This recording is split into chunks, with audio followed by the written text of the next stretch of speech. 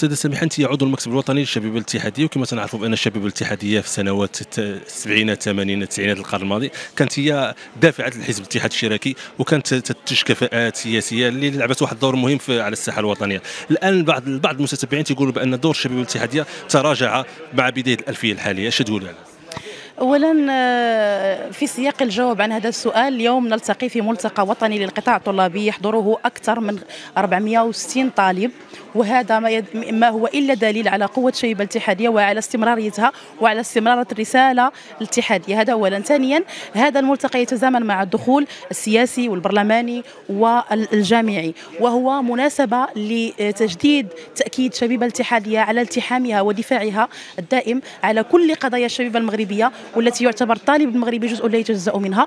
ونحن من خلال هذا الملتقى رفعنا آه، شعارا اساسيا ومهما وأطلقنا عريضة أساسية ومهمة بالنسبة لنا وهي تعميم المنحة على جميع الطلبة المغاربة وسنعمل عليها وسنقوم على تنزيلها في كل المواقع الجامعية. وهو أعتقد أنه سيكون سيتجاوب معه الطالب المغربي وستتجاوب معه الشبيبه المغربية لأنه مهم ويجب أن يتحقق لأن الطالب المغربي من حقه أن أن أن ان يحظى بمنحة تخول له آه، استكمال دراسته الجامعية. ماذا عن قضية يعني تراجع الدور تاع الشباب الاتحادي؟ الشباب الاتحاديه لم تتراجع، هناك مد بالنسبة للعمل السياسي بشكل عام لجميع الأحزاب ولجميع الشبيبات ولكن ما أريد أن أؤكده هو أن آه، الشبيبه الاتحاديه هي الشبيبة الرائدة في الفعل السياسي الشبابي بالمغرب وهذا يشهد به القاصي والداني ويعترف به العدو قبل الصديق لحزبنا الاتحاد الشركي القوات الشعبية فبالتالي تراجعنا أو نقوصنا أو آه، ما ما ما أطلقت عليه تراجع الشبيبه الاتحاديه عن أداء أدوارها آه، التاريخية والطلائعية هو ليس بتراجع بل هو فقط آه، يمكن أن أسميه تلاؤم مع ما يعيشه المشهد السياسي المغربي بشكل عام. إحنا في مرحلة الدخول السياسي وكما تلاحظي بأن الدخول السياسي في المغرب في هذه السنة هذه يعني سنة 2023 هو دخول سياسي بارد. ما كاينش نقاشات ما كاينش ملتقيات ما كاينش ندوات. وكأن المغرب ما تعيش واحد الحالة السياسية. شنو رأيك؟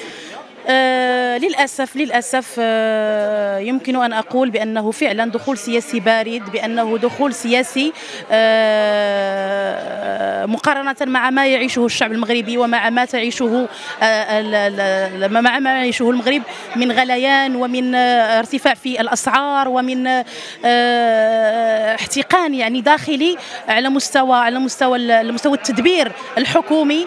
فيمكن أن نطلق على على على هذا الدخول السياسي فعلا على أنه بارد ولكن نحن كاتحاد شراكة القوات الشعبية وكشيبه اتحادية نعبر عن مواقفنا والتي عبر عنها الأخ الكاتب الأول من خلال كلمته آه، الترافعيه والتوجيهية التي ألقاها على مسامع الطلبة والطالبات الحاضرين معنا في هذا الملتقى القطاع الطلابي. فهناك